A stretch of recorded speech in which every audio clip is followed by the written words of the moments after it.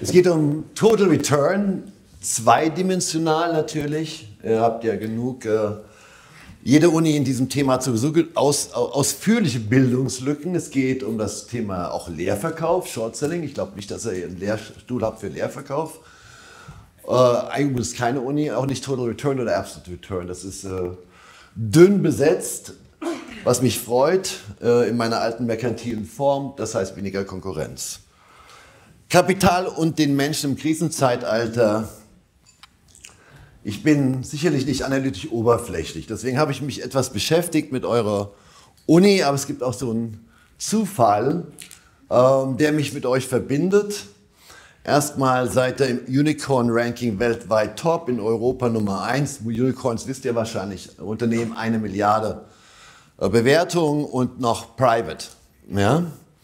Also das ist ein fettes Ranking und äh, eure Alumni, they put their money where their mouth is. Das ist so ein klassisches Wall Street-Axiom. Ähm, das sagt, die stecken Kohle in eure Ventures. Und das sieht man auch in der Dichte an Wagniskapitalfirmen hier, die diesen Event sponsoren. Tja, ich bin natürlich, na, ich möchte wissen, wie, wie, wie wach seid ihr eigentlich, ja? Ich werde, ich werde euch nämlich eine Frage stellen. Es gab einen Professor, den gibt es heute noch, der ist auch mit euch verbunden gewissermaßen. Das war der einflussreichste, einflussreichste lebende Management-Denker im deutschsprachigen Raum. Bei dem hat ein Doktorand, der bei euch jetzt ein Uniprofessor ist. Und jetzt kommt gleich die Frage, wer hat an der W von den WHU-Professoren, auch ständig unter den Top 100 äh, Ökonomen in Deutschland. Wer hat die Bibel zur Preisfindung geschrieben? Hebe, hebt bitte den Arm, weil wer es erratet, der, saugut, wer? Wie bitte? Der, den hast du richtig, aber ihr habt einen WHU-Professor, der ist ein Co-Autor. Das ist schon fucking die halbe Miete, aber dafür die halbe Miete wird nichts bezahlt. Habe ich jetzt, also ich habe keine andere Hand gesehen. Das, wer? Bingo, ein Buch, super. Sonst hätte ich Ihnen die nächste Frage gestellt. Wer ist seit, war bis Februar 2024 für eure MBE-Ausbildung äh, verantwortlich? Professor Martin Fastnacht, Ranking Nummer 1. Haha, ich liebe Nummer 1. ähm, und als Autor war ich zutiefst deprimiert weil mein Buch Prinzipien des Wohlstands Nummer, Nummer zwei wurde auf der Spiegel-Bestsellerliste. Das hat mich stark gestört in meinem überblasenen Ego. Genau richtig. Du kriegst unter, äh, Sie kriegen oder du äh, eine Unterschrift von mir. Also ihr habt ein tolles akademisches Team.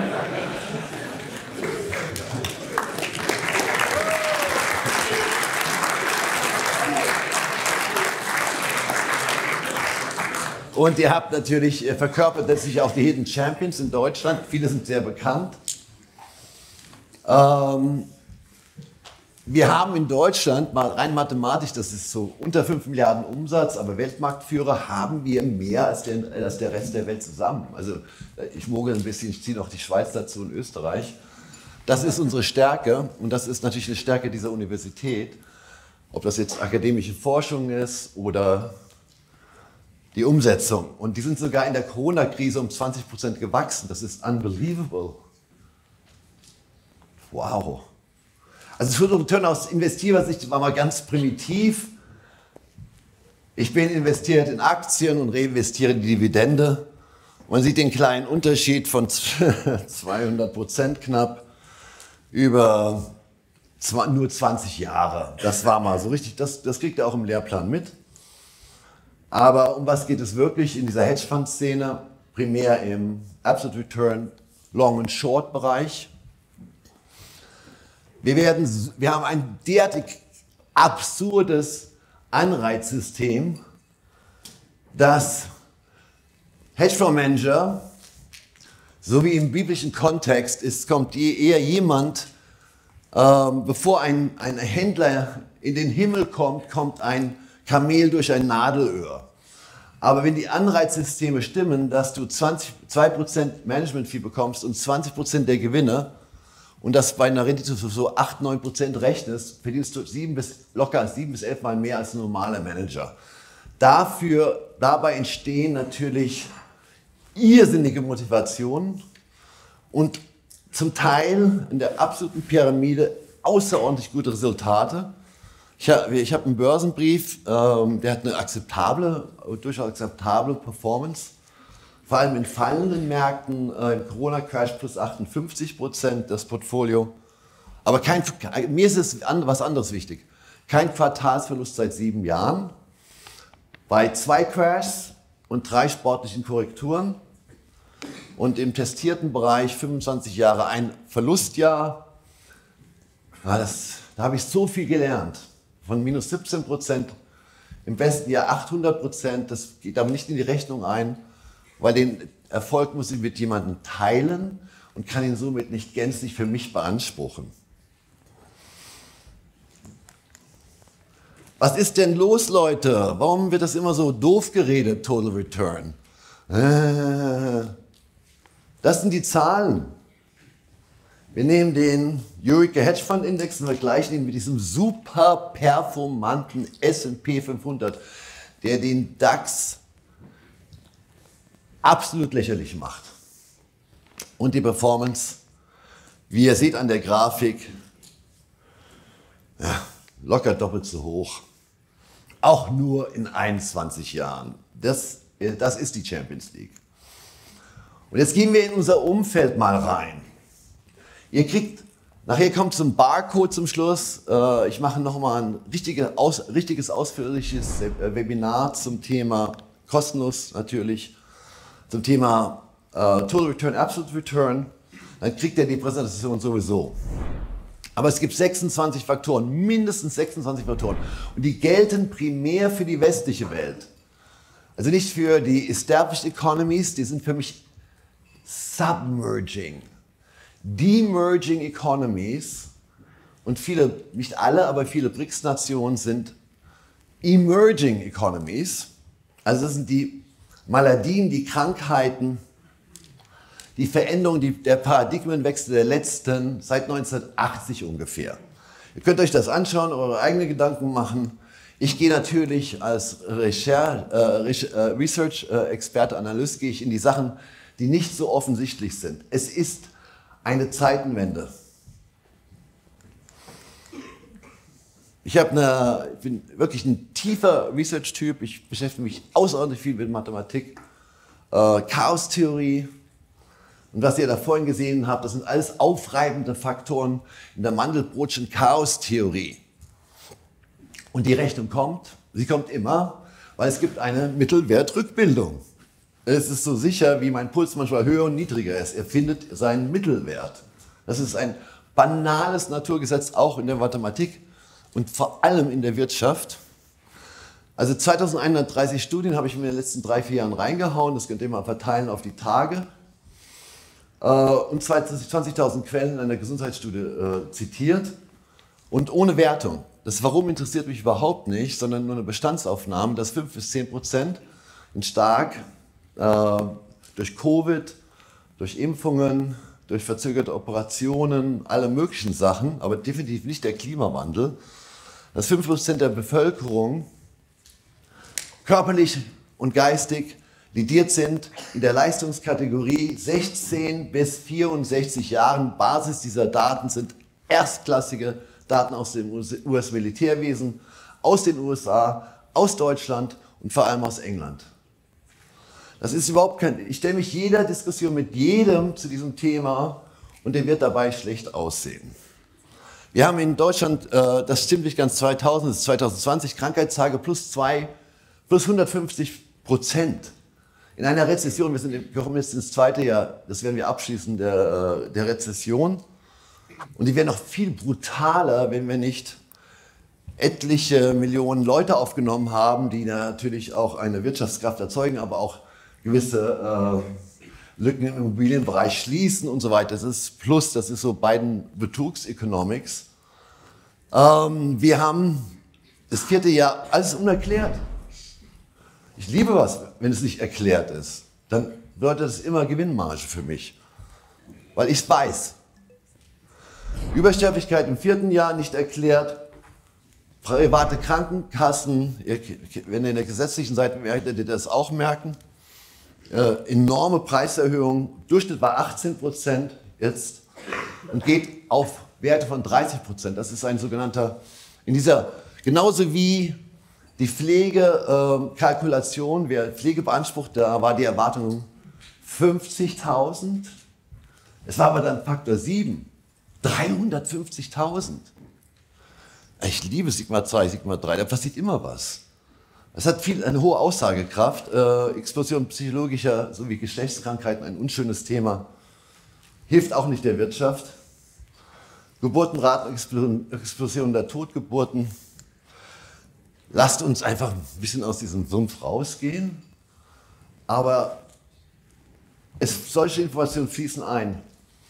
Auch bei Warren Buffett, der ab, ich nehme an, so ein richtig primitives Wort in, in den Mund, der wird das verstehen, der abgewichsteste Investor weltweit und der reichste. Weil er über seinen Versicherungsverein und sein Informationsnetzwerk, und das ist, der, das ist das A und O der Performance, der Informationshandel und das Informationsnetzwerk, weil durch Information erschafft man sich Vorteile, wenn man denken kann. Und ähm, der hat nicht 300 Milliarden in Cash gerade, sondern er hat 470 Milliarden, weil seine Versicherungsprämien liegen auch in Cash. Und der hat Anleihen übrigens. Ähm, und der hat auch diese Daten. Er redet nur nicht drüber. Ich rede drüber, weil ich mich irgendwann mal aus dem Hardcore-Merkantilismus entzogen habe. Musk redet über das größte Problem, was uns konfrontiert, ist nicht die Überbevölkerung, sondern die Entvölkerung in der westlichen Welt der Leistungsträger. Ihr seid Leistungsträger. Oder ihr habt zumindest die Aussicht, Leistungsträger zu sein. Das bedeutet doch glasklar, eine kranke Bevölkerung, zunehmend kranke Bevölkerung wird nicht so produktiv sein und es ist ein Flatlining der Umsätze. Jeder, der ein, schon mal einen Barwert, Net Present Value kalkuliert hat, der weiß doch, dass diese Modelle 10, 20 Jahre laufen. Die Modelle sind etwas fragwürdig und Rezessions- und Stagflationsrisiken und Verfallrisiken sind in diesen Modellen, ratet mal, nicht abgebildet. Wir sind im All-Time-High. Ob man Schiller KGV nimmt, ob man das Warren Buffett Ratio nimmt, ob man das Q Ratio nimmt, das ist eine hohe Gefahrenzone. Und wieder einmal hat Buffett die höchste Cashquote aller wesentlichen Long-Only-Teilnehmer, er ist auch ein Total Return Investor, weil er sagt sich, hm, ich möchte mir diesen ganzen Short-Kram nicht antun, weil es ist doppelte Arbeit. Ich muss Longs finden und Shorts finden, das ist doppelte Arbeit, das ist stressig. Aber ich gleiche das aus, dass ich zuschlagen kann, wenn die Werte wieder fair bewertet sind oder günstig sind. Und wir haben 1914, wir haben ein, ein, ein 1914-artiges Umfeld. Die Probleme im Mittleren Osten, die hatte man damals im, im Maghreb. Die Probleme in der Ukraine hat man, hatte ähm, man damals in, ähm, in, in, Balkanländern. Natürlich gab es schon Stress in, im Fernen Osten.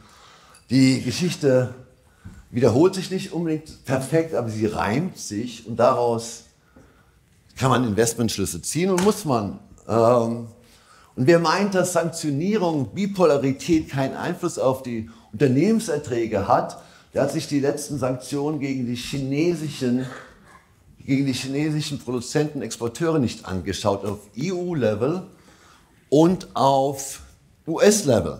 Weil die US-Unternehmen im S&P 500 erzielen 32 Prozent ihrer Gewinne außerhalb der USA und beim DAX ist es noch drakonischer, 60 Prozent. Und wer meint, dass Gewinne nichts mit Bewertung zu tun ha hat, der sollte jetzt aktuell den Raum verlassen. Weil da ist jedes Wort zu viel, was ich hier sage. Dann haben wir KI-Redundanz. Ähm, äh, damit beschäftige ich mich seit sage und schreibe eigentlich, ich untertreibe gerade fast fünf Dekaden, aber wirklich intensiv vier Dekaden. Das Wort gab es gar nicht, das Konzept gab es gar nicht. Aber wir haben Big Tech Layoffs, die sich gewaschen haben. Ähm, und wir haben zeit, äh, zeitgleich Rekord, absolute Rekordinvestments in KI. Ist das korreliert? Ich lasse es, ich lasse es jetzt hier in diesem Raum stehen, weil äh, Ursache und Wirkung ist nicht immer dasselbe und Korrelation gibt es endlos viele, aber ich möchte darüber nachdenken. Und warum dieser Total Return Ansatz, so nicht nur statistisch durch den Hedgefund Index, warum der so irre erfolgreich ist, das äh, manifestiert Warren Buffett im besten Beispiel bei Long Only. Aber George Soros, ähm, Stan Druckenmiller, alle Leute, die ich recht, mal, mal recht gut kannte, äh, äh, Jim Rogers, den ich immer noch, mit dem ich immer noch in, in Kontakt bin, das spricht Bände. Warum ist das nicht auf dem Lehrplan? Warum habt ihr keine Short-Ausbildung? Warum habt ihr keine Total Return-Ausbildung? Ist das jetzt alles Zufall oder logisch, dass hier so ein kleines Sammelsurium, das sind nicht die Vermögen dieser Leute, das sind die Jahresverdienste, 2,8 Billionen. Irgendwo ist da unten so ein ganz, äh, ganz großer Loser mit nur 180 Millionen Verdienst im Jahr. Es gab wirklich bei mir 30 Millionen Tage, also habe ich 30 Millionen am Tag verdient. Das ist ziemlich entspannt, war nicht einmal. Ist es Zufall oder ist es logisch? Glaubt ihr, dass dem jemand, die, die, äh, irgendein Investor irgendwas verschenkt an der Wall Street?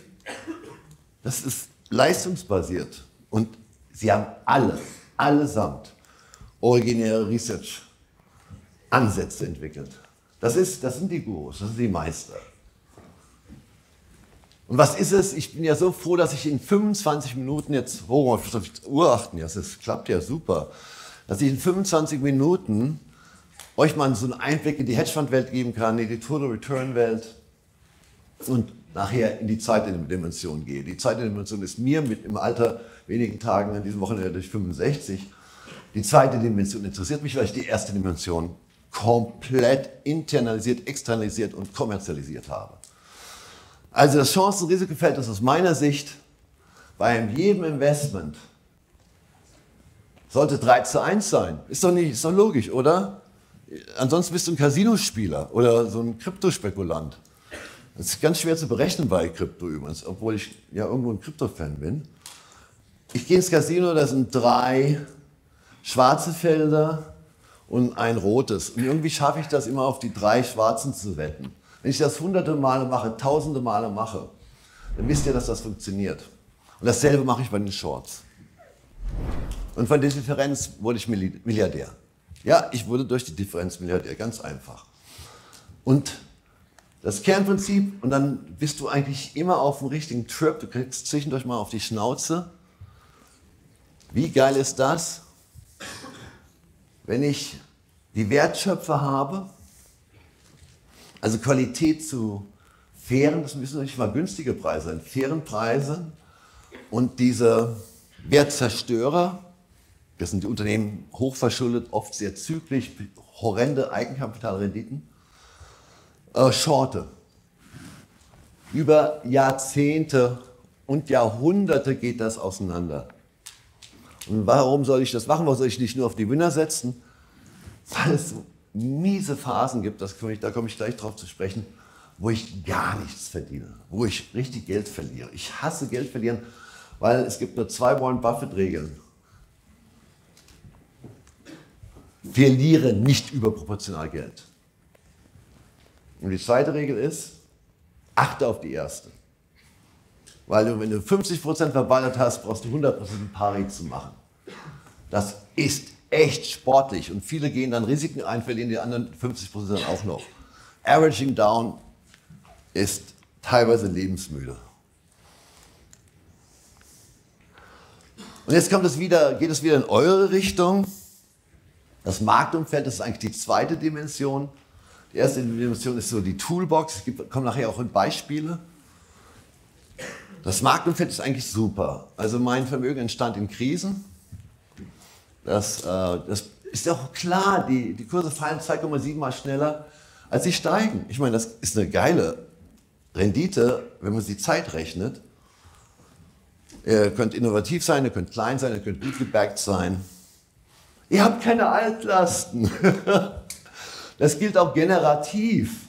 Was für Altlasten bringen die Babyboomer mit? Die haben euch überhaupt nicht verstanden.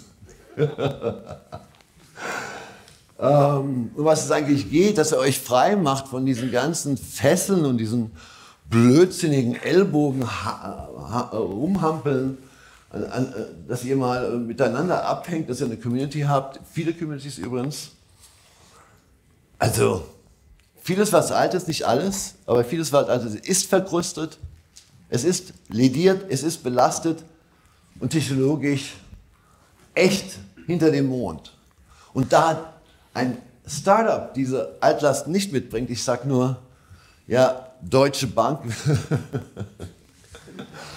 ähm, dann äh, kann der, derjenige, der etwas dynamischer ist, äh, sogar die Banken- und Finanzlandschaft verändern. Siehe Interactive Broker oder viele andere Beispiele. Ja, what's in it for me? Deswegen seid ihr auch hier, zahlt echt Geld. Apropos Preisfindung äh, von Professor Fassnacht.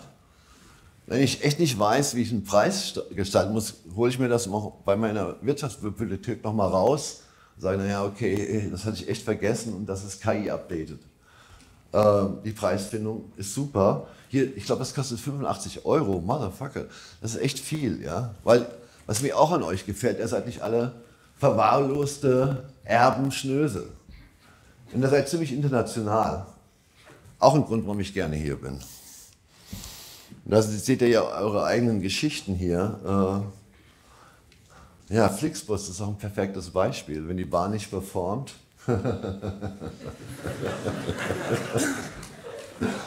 so Parallelen. Also was ihr macht, was, für was eure Uni steht, auf meiner Lichtseite, sage ich mal nicht auf meiner Schattenseite, äh, das habe ich selber vorgelebt. Ich bin, das ist jetzt, äh, ich bin wirklich, das ist ja das Schöne an der WHU, sie ist recht angewandt.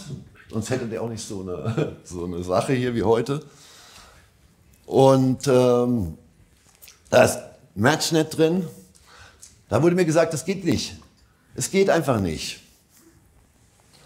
Dating Services im Internet ist was für Pädophile das ist was für Sexualstraftäter, Vergewaltiger und so weiter und so weiter. Das war der erste Börsengang eines Dating-Konzerns an äh, mit der BHF Bank in Frankfurt.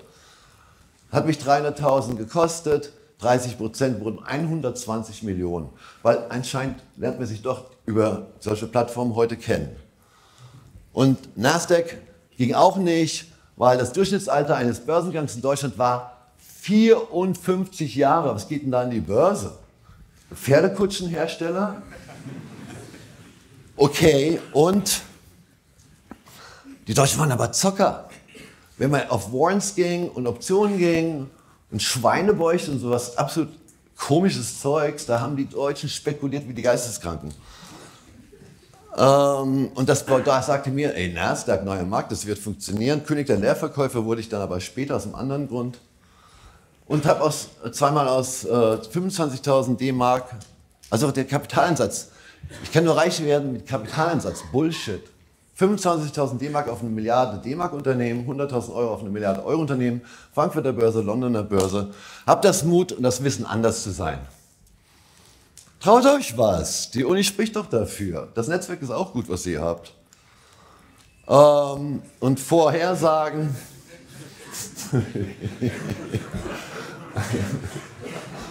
Also ich finde das immer gut, wenn ich dann kommentiert werde von anderen Leuten, aber ich hatte den äh, Wirecard-Absturz perfekt getimt, ähm, auf dem Börsen-TV schon erklärt und dann noch später nochmal äh, etwas genauer dekliniert.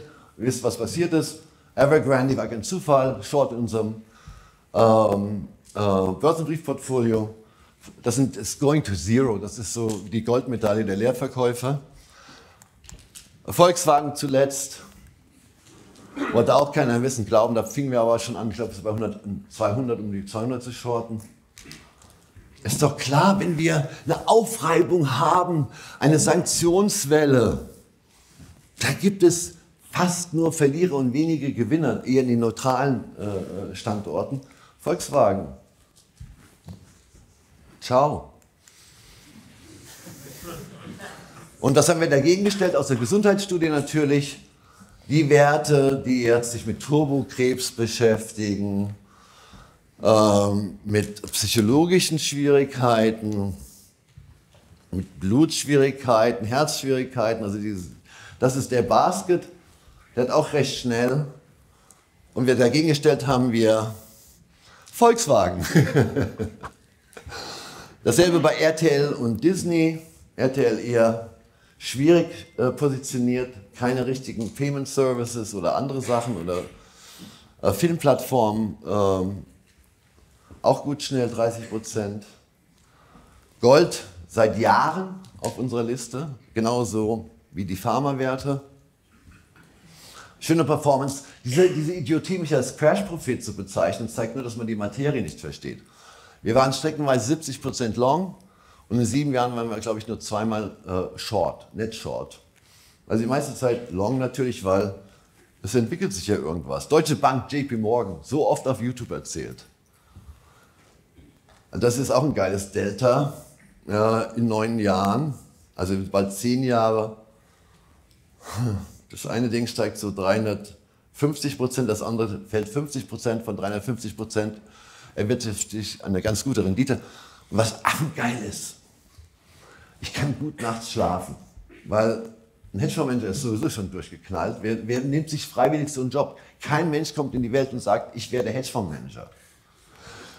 Und, oh fuck, die Zeit. Und ähm, wenn die Börsen fallen, fällt die Deutsche Bank sogar noch mehr als JP Morgan. In der Regel, weil sie angeschlagen ist. Also ich kann gut schlafen, ich mache meine Kohle. Perfekt. Von wem wollt ihr eigentlich lernen? Ist euch eigentlich bewusst, dass Peter Thiel Hedgefondsmanager war? Ist euch äh, und somit auch Elon Musk da ein tiefes, rundes Verständnis hat oder Jeff Bezos? Ich lerne nicht von Marktschreien. Ich möchte von denen lernen, die mehr wissen als ich. Tja, der Paradigmenwechsel ist doch klar, was passiert, wenn in 44 Jahren, es kann, ich meines Erachtens bricht das nächstes Jahr erst, also 45 Jahren, wenn 80% mit 80% der Longs ich geiles Geld verdiene und immer den Fett Bailout habe, also meine Fehler werden von der Zentralbank korrigiert und 10% neutral und 10% gehen trotzdem auf für uns, als, also weil wir die Short-Komponente haben. Das gibt auch in dem wildesten Bullenmarkt Short-Möglichkeiten. Das dreht auf 80 Prozent in der Stagflation und in der Rezession, in der Depression, vor allem in der Stagflation, werden 80 Prozent der Long-Titel nicht performen. Also reale Verluste, heftige. In der letzten großen Stagflation 80 Prozent. Und übrigens, das vergisst man leicht, zwischen 2000 und 2012, da brauchte der S&P 500 und nicht mal nominal, ohne Inflationsbereinigung, zwölf Jahre, bis er wieder da oben ankam. Ja, dieses Paradoxum, das Paradoxon. Wow. Fuck, ich hatte eine Trophäenfrau, also ich sag mal eher so einen äh, sehr ausgereiften wirtschaftlichen Verhaltensvertrag. Ich bringe die Kohle und sie kann tanzen gehen. War, und Kids kamen auch noch dazu. Aber ich war nicht glücklich. Echter Einzelkämpfer, ein richtiges Arschloch. Und wenn ihr äh, mir Zunder gemacht habt, mir das Leben schwer gemacht habt, dann gab es das Vendetta-Register. Weil alle Rechnungen müssen in dieser Welt beglichen werden. Man, nur die Frage ist, wann. Krank. Und das stimmt übrigens. Äh, wer jeder, der sich mit solchen Studien beschäftigt, ist auch die Harvard Fünf-Generations-Studie, mittlerweile bald über 100, ja, über 100 Jahre, der weiß, dass der Erfolg nicht unbedingt das Glück bringt. Und Total Return aus menschlicher Sicht, das ist die wahre Dimension, weil ich kann aus Erfahrung sprechen. Und das ist, der, der Link dazwischen ist, ist die Eigenkapitalrendite. Eigenkapital, innerliche Rendite. Und das macht mich nass. Wet. Weil um die eigene Kapitalrendite, also das eine ist Erfolg, das andere, ich rede jetzt über Glück. oder Realität, Gefühl. Das ist die Würde, die ich habe. Also ich arbeite schwer dran an meiner Würde, weil ich war mal ja, peinlicherweise Bordellbesitzer. Ähm, das hat auch einen guten Cashflow.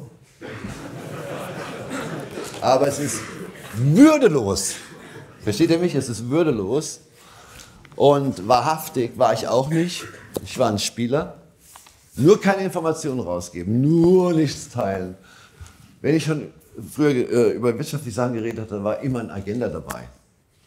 Ich kann mich noch erinnern, äh, bei TUI, kennt ihr bestimmt den Reisekonzern, hatte ich so grob 2,9 Prozent äh, aufgehört long.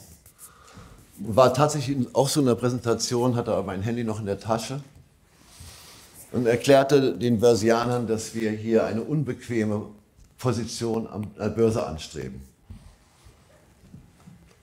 Wusste aber, sah aber am Ticker an der deutschen Börse, dass der scheiß Kurs 30% stieg. What the fuck?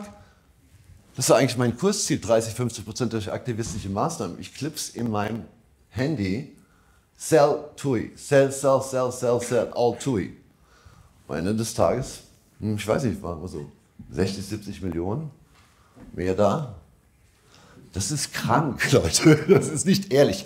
Und Wet bedeutet für mich die Würde, wahrhaftig zu sein. Wegen Wett, ehrlich und treu mit Humor. Und jetzt kommt im Inneren und zu sich selbst. Ihr werdet es nicht glauben, aber es ist absolut sicher, diese Information. Die höchste Korrelation mit dem Glück beginnt und ist die Treue und die Ehrlichkeit zu sich selbst. Weil nur dann kann ich mit einer anderen Person und mit anderen Menschen, und ihr seid halt diese Community, wenn ihr nicht ihr wärt, wäre das hier komplett trüffel vor die Säule gekippt. Ihr habt halt diesen enormen Vorteil, dass ihr die Schwächen der Eltern kennt. Und der Großeltern, ich bin ja fast euer äh, äh, Großvater, ja, wenn ich das mal so mathematisch berechne. Ihr müsst halt früh anfangen mit Kindern, aber es ginge, ja. Und äh,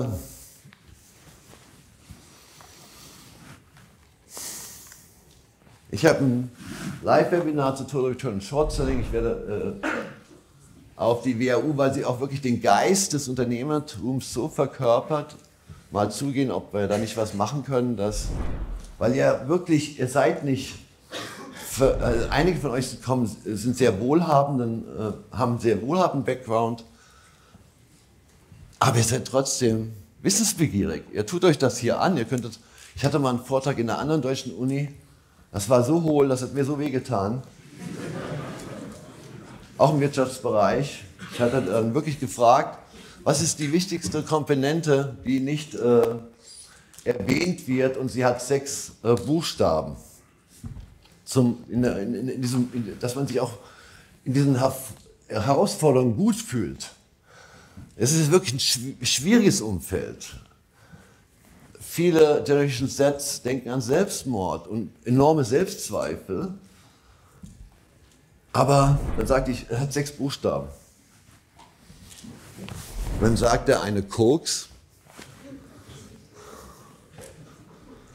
Der andere sagte sechs. Dann sage ich, sechs Buchstaben.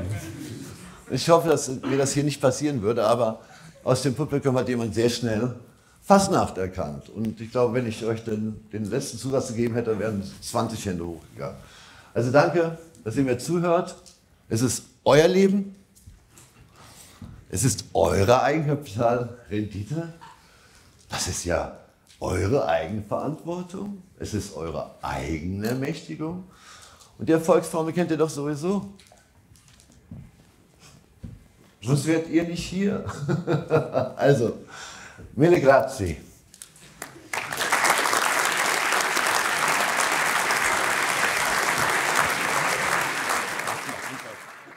Wild ride that you have behind you, and I love that because we don't have guys like you, many in Germany. I mean, this uh, 2D idea is cool because uh, it also uh, it's uh, in your personal life, ups and downs, what you make out of that. So, um, and last point, thank you for serving Borussia Dortmund. I forgot that.